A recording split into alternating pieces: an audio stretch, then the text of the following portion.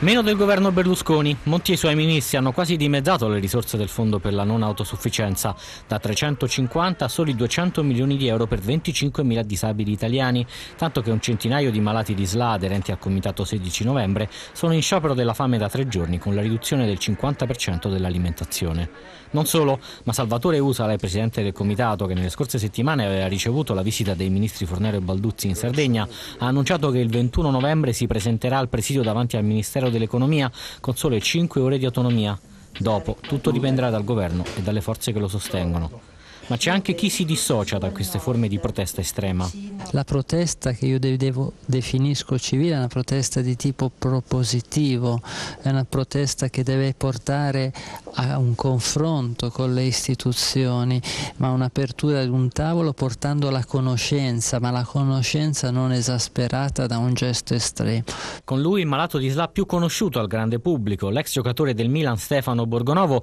che con la sua fondazione Onlus ritiene prioritario favorire il dialogo con le istituzioni e considera questo sciopero non consono alla gravità della situazione dei malati di SLA.